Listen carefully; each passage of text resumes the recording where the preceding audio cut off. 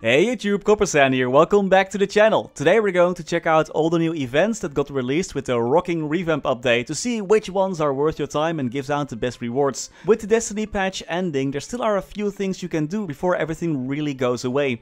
The Destiny event stores will stay available for a few more days until the 4th of September until reset. So if you still have any coins left, make sure to spend them before the stores truly go away.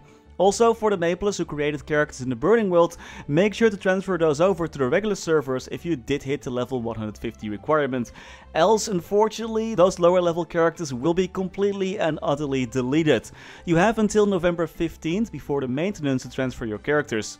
Also, good news for those Maples already looking forward to the next updates. Thanks to all the new events, we can now estimate when the next updates will be released. The Tobin Hair Hero event ends on the 4th of October, so we can expect the next big update to happen most likely on the 5th of October. That's the one with the Night Troupe event. And with the Fairy Bros event ending on the 15th of November, we can expect the Ignition update. That one includes the of Cygnus remaster and Hyper Burning burning up to level 250 to be released around the 15th or 16th of November.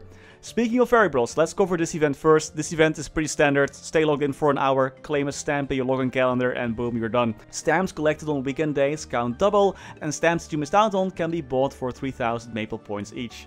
The entire event lasts 10 weeks and 6 days and include 22 weekend days. So after some quick math that's uh, probably wrong somewhere somehow, Maples can get a total of 98 stamps, at least according to my calculations. So if you miss 8 normal days or 4 weekend days, you'll still be able to get all rewards, no worries about that. Rewards include cosmetics, hair and face coupons, level up potions and more. Rewards on day 81 and 90 are of course the most awesome. I really want that unit damage skin from day 81. And that final reward, the day 90 reward level up potion works up to level 250 I believe. So that's a must get as well. The extreme growth potion reward from day 45 are those bonk potions that can be used only between level 141 and 200 and reward anywhere between 1 and 10 levels depending on the level of your character. Next up is this Spiegelmann Starlight Box event that I will most likely not complete because I'm going on a one week vacation this Saturday, so I, I just can't make it. But this event is pretty simple. Hunt 2000 monsters around your level and you'll get a reward. The rewards are pretty nice and include some level up potions that I'm pretty sure anyone will appreciate.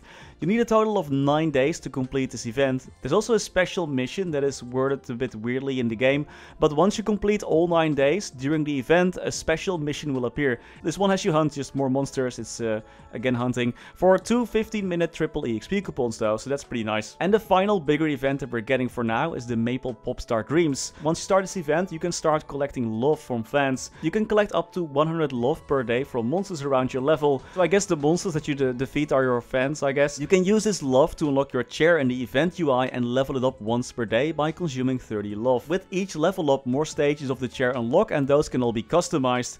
It'll take a couple of days to unlock everything though.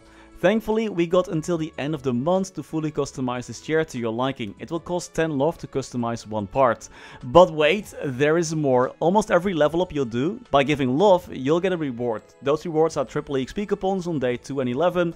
Day 7, for example, gives out a few damage skins, a Yeti, slime damage skin, pink bean damage skin. If you need a weird face, make sure to complete up to day 13. Day 17 will give out an EXP node stone, and the final day rewards 5 Karma Black Rebirth Flames. So there are plenty of rewards to grab besides the customizable chair as well. Two weeks from now, another event will start that has you again defeat 2000 normal monsters per day and various bosses to collect memories of battle. Those can then be used to level up a special skill tree that your characters can use to get stronger. This event is called the Tobin Hair Hero Special Private Course and it's a good warm up for the Night Troupe event that will start early next month. And that's it already for today. I hope you enjoyed the event and everything was useful, and I'll see you in the next video. And as always, many thanks to our members for making these videos possible. Thanks to Niels de Rama Waar, Sebastian Hanoy, Riley Os, Terry Kim, Vareese, Cody Mora, Wiley, Historycanon, Backspace OTI, Saffronyx, Anwar NHY, Ziggy Deer, Flidiot, Knivesu, Chen125, Cloud Figgs, Gusus Rodriguez, Froggy, Vyra, Trevor, Michael Menchaka, Raythius, Justin Vail, Sylvio Neto, Stevie Zheng, Afterlord underscore MS, CMAX, Striker Elk, Tidal One Pun, Wictor Sundström, Radical Jaws, Riser Are Gummy Bullet, Lovebird, 32655, Mathias Simonsson, Mr. Narc, Lando Balavia, PC Game Life, Dante Victory, The Passenger, Martin Panczyk, I'm disappointed, Luckey Beatz, Gable Eck, Pedro Benedetti, Conrad Cristales, Ace Light, Ben Wolf, Max Bernhardt, Doc on a Talker Box, Muka 1017, BNB King, Scotty Flies Fast, Priscilla, Brennan Cam, Shake One, Vake Botnet, Feco, Gianfranco Calderon Canavero, Necrodart, Matthew Dev, Only, Rashid Almarudi, and Emperor Chat. Thank you all so much for watching. Stay safe and happy mapling!